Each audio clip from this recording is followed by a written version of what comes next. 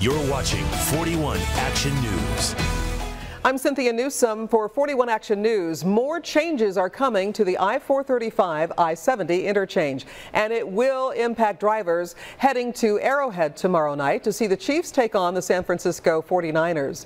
Two main ramps will be closed at the I-435 I-70 interchange for about eight hours Saturday, and they are left-hand exit ramps for southbound I-435 to eastbound I-70 and northbound I-435 to westbound I-70. They'll be closed from 1 to 9 p.m.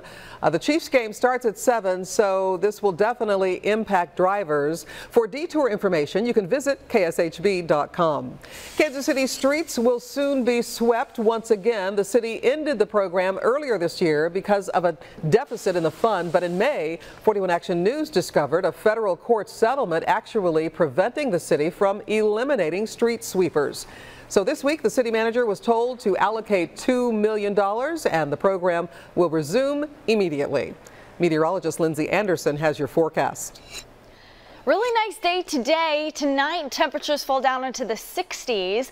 By tomorrow, we stay mostly cloudy, a high of 78 degrees expected, and that's much of the same uh, for those temperatures on Sunday. But we do have to monitor the potential for a few stray showers tomorrow and a few thunderstorms there on Sunday. You can get the latest news and weather anytime at kshb.com.